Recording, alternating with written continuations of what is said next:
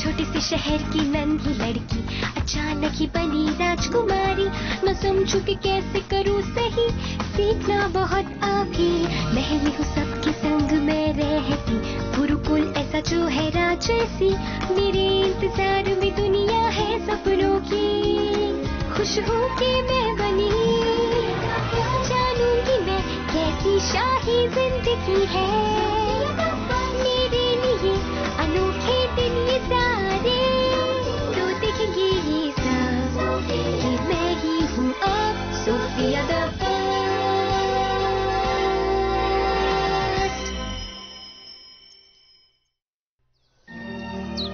शाही sleep over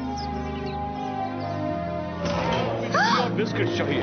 चलो चलो जल्दी करो। जल्दी करो। क्या बात है? आज हमारी स्लम्बर पार्टी में बहुत मज़ा आएगा। ओ सोफिया ये कोई ऐसी वैसी स्लम्बर पार्टी नहीं है। ये आपकी पहली शाही स्लम्बर पार्टी है। चाहती हूँ इसलिए मैं इतनी खुश हूँ। ओ मैं भी। और हम चाहते हैं कि इनमें सब बढ़िया हो। ये दावत कक्ष में जाएगा। जल्दी जल्दी। जी। बेली वेग क्या आपने चॉकलेट दूध का झरना लगा दिया? उसे अभी दावत कक्ष में भेजा जा रहा है राजकुमारी। वाह बहुत अच्छे। धन्यवाद बेली वेग।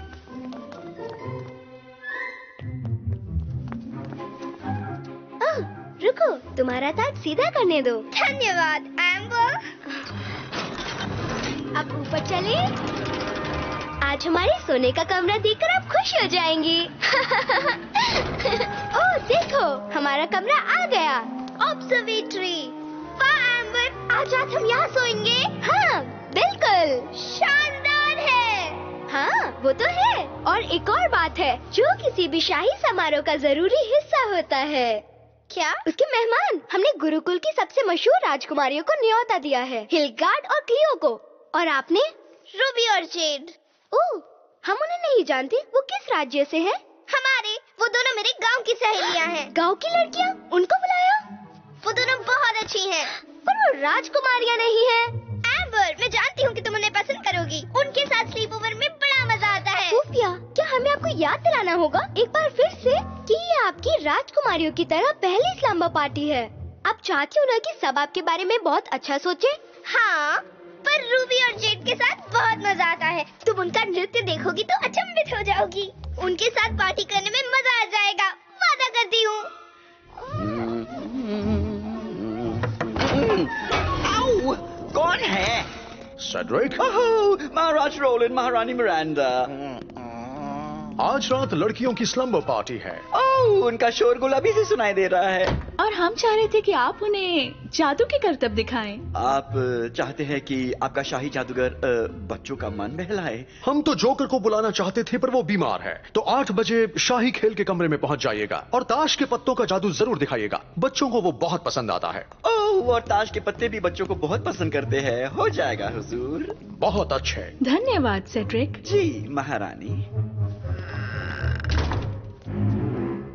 ओह यकीन नहीं होता। पंद्रह साल जादू का प्रशिक्षण लिया ताकि मैं नासमझ बच्चों को हाँ ही हाँ ही करवा सकूँ। बिल्कुल वानी मैं उन्हें दिखा दूँगा। मैं इस जादू के कार्यक्रम से राजकुमारी सोफिया का एवलोर का लॉकेट चुरा लूँगा। पर सवाल ये उठता है कि ये कैसे होगा? अरे हाँ मेरी कठपुतलियाँ दिखाएँगी तमाशा। और मेरा जादू होगा राजकुमारी का लॉकेट गायब करना और मेरे हाथों में लाना। कठपुतलियाँ एक बार वो लॉकेट मिल जाए बहुत जल्दी ये राज्य मेरे कब्जे में होगा।